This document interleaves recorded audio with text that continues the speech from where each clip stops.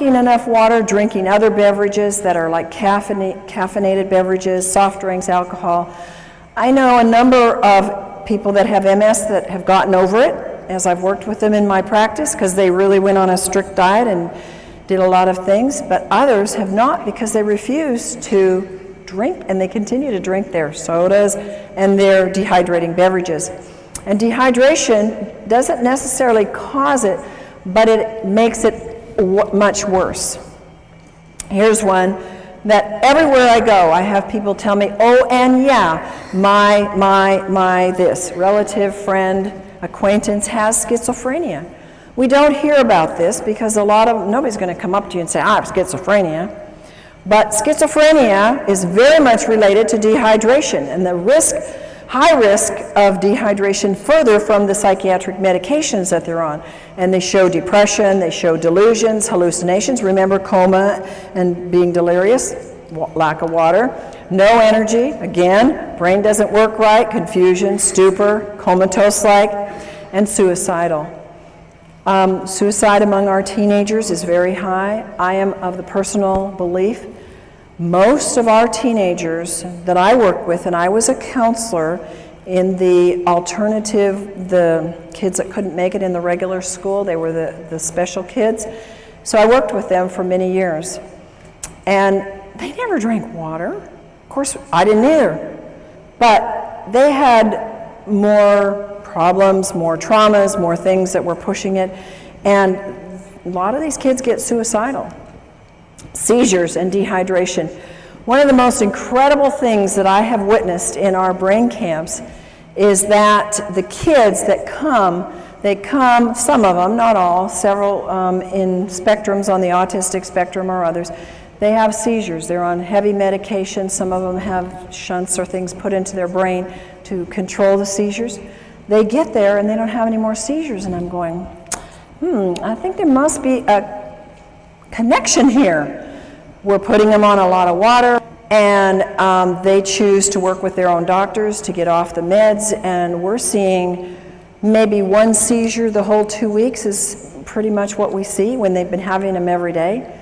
Pretty amazing when you see that, and pretty much documented by research that says dehydration is a trigger for a seizure. And it can lead to coma and death and tics is a disorder that can be related to dehydration. Now, how many for Tourette's and these kind of things ever say it's dehydration? But, folks, this is a common, not very common, but it's common enough amongst some in the population, and it's not a very fun thing for people to have. And the research says dehydration is a factor and a very big factor. Strokes and heart attacks related to dehydration. You've heard of people being out on the basketball court and you know they're sweating and they're working hard and they go off the court and they drop over dead. You heard of that? We've all heard of that. It's dehydration. They were probably drinking something, you know, of those uh, special drinks that they, you know, that the people in called gators drink, you know. Um, and when we don't have enough water, remember our blood needs 80% water. It's a flowing river through us. It builds cholesterol, which causes strokes and causes clogged arteries. And when we take the drugs for that, we get further dehydrated. And when there's insufficient water washing in and washing out, we, the, the membranes seal off. Um, so further water is lost. And when the dehydration blood, the blood gets thicker. Why do people have bypass surgeries? Why do people have events of heart attacks? Because they're dehydrated. What a simple solution, guys. And it's so economical. Do you think that $4,000 is cheaper in getting a water machine that will wash you and wash your arteries than going in for bypass surgery and losing work for six months to a year? I mean, come on put your priorities in the right place and start thinking about what is it and where are we putting our priorities. When we think about, when my husband and I were introduced to this kind of water, we said, that's a no brainer. We're spending all this money on supplements and, and all these things to get younger and to do the work that God's given us to do, it doesn't make sense for us not to have the best water on the planet. And so cholesterol is a production in a defense. It's God's way of protecting us from dehydration. Swelling of the brain and dehydration. If you lose more sodium than fluid, you will swell. The body compensates for this loss by producing particles that pull the water into the cells. This produces edema and swelling. And when this happens in the brain, there is severe, grave consequences. And folks, you and whoever gets this information from you, this information may save a life. Because when somebody has a car accident or an injury to the head, the number one thing that can cause more brain injury is the swelling.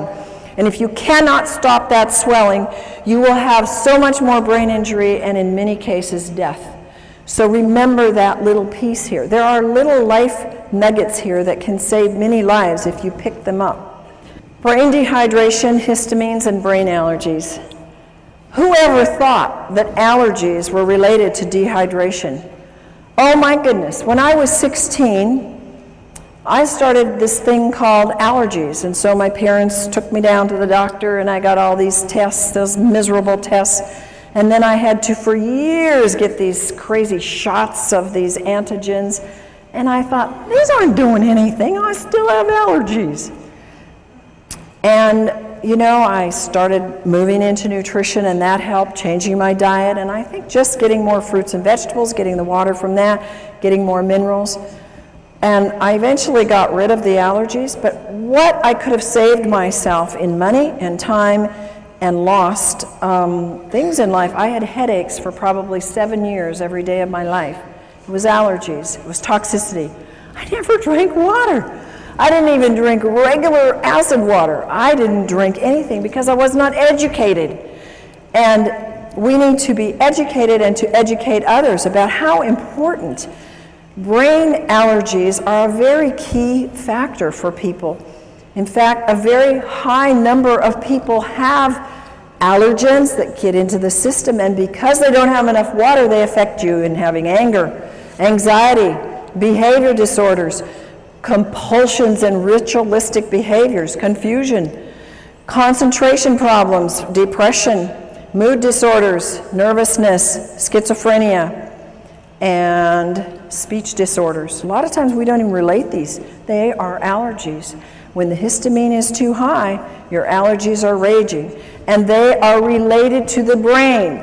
High histamines are, what's the thing on the market? Antihistamines. Because they know you've got to bring that histamine level down or you're going to be miserable if you have a brain allergy or if you have a body allergy. It's an indication of dehydration. Chronic dehydration can cause histamine to become excessively active. Supplying the body with water, and again, the right water, will cause a disappearance of the high levels of histamine. And water, now, folks, this is science, this is studied. Science has told us that water, even regular water, will reduce histamine amounts. But think of how much exponentially you can raise the bar if you have microclustered ionic alkaline water because it inhibits the histamines even more and their production and acts like an antihistamine. It's fantastic. Science has documented a lot of things for the brain, and histamines is one of the things they know. They've done the studies. Brain issues are linked to the histamine levels being way too high. Abnormal fears, aggressiveness, autism, bipolar, compulsive behavior, compulsivity, and rituals, crying easily, depression, hyperactivity, obsession about sex, overstimulation, racing brains, schizophrenia, suicide thoughts, and others. See how many of these are coming at us from different levels.